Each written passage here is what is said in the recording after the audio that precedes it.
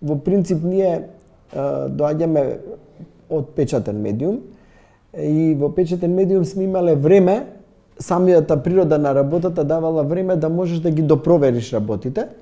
А, иако можам да кажам за една, само не би сакал да спомнувам имиња, со кој што лично еве сум се срамел и ми, ми би била прилично а, тегобна.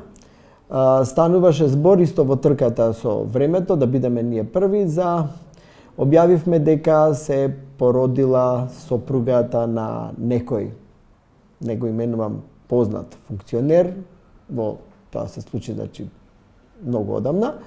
А, и ние тоа го објавивме, потоа без некој. а, го објавивме од неименувани болнички извори.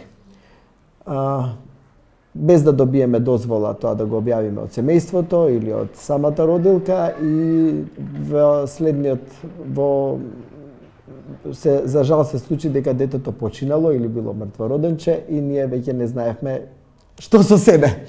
А, едноставно имавме до душа разбирање и од семејството и од функционерот, па тоа го решивме за, со едно извинување кое што повторно од етички причини не го направивме јавно, меѓутоа ние лично се извинивме, испративме некакво цвеќе, таа го прифати тоа извинување и така целата работа се заташка. Тоа ми беше после а, една голема лекција да не се брза, посебно кога станува збор за такви чувствителни прашања, како што се умирачки, како што се раѓања, како што затоа што ние а, не сме лекари да некого да утепаме, меѓутоа можеме да уништиме и семејства, можеме да уништиме и нечи живот и нечи кариери.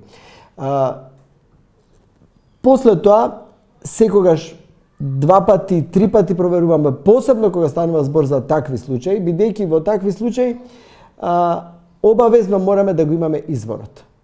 Дали е изворот од семејството, значи да се наведе, потврди семејството, дали е изворот официјален болнички со име на докторот, тежурен, тој и тој, или таква нешто, инаку неименуван болнички извор веќе никогаш не користиме.